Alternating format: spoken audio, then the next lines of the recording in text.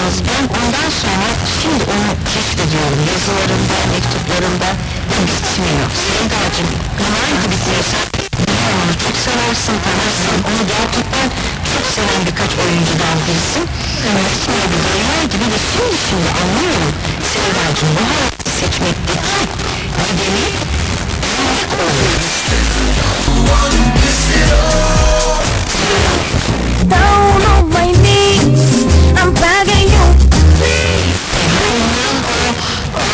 Diyalogları ya. Mesut'undaki filmlerin adamı diyalogları vardı.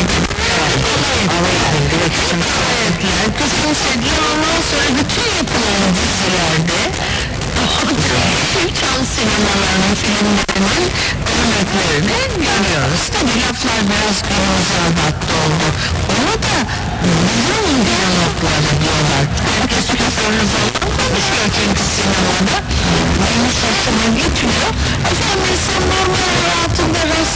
Hmm.